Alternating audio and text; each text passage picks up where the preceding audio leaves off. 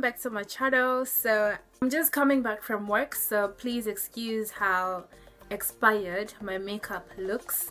The video that you've just watched was from last night which was Sunday night. So today is Monday.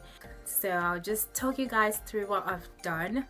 And yeah. So last night after I finished doing the hair I just went back with my Cantu butter, tea tree and jojoba hair and scalp oil just to make sure that my scalp is well moisturized in there. That's why I like this one because it's got this little tip on it so it makes it easier for you to just go in there and you know moisturize your hair.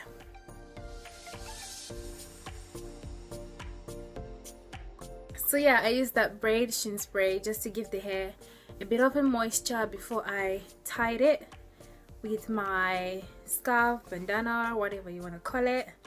And I literally just put it in place, positioned it in place that I wanted it to lie. And I tied it.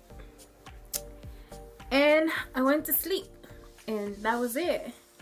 And this morning when I woke up, I just put the hair back like that on the sides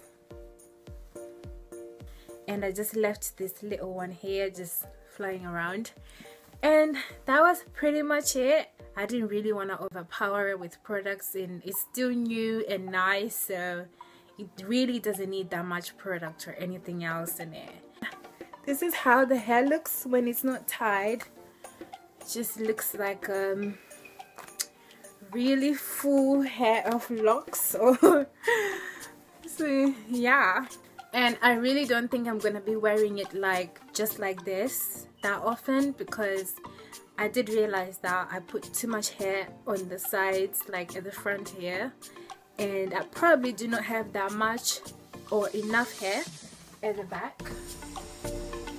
I haven't really checked to see if the gaps are that bad. So I will do that and see if I can take some hair from the front and put it in the back. Yeah this is pretty convenient.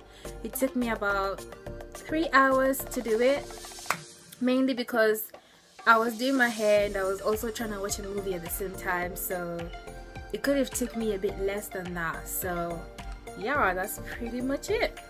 I hope you guys enjoyed this video and I look forward to seeing you in my next video. Bye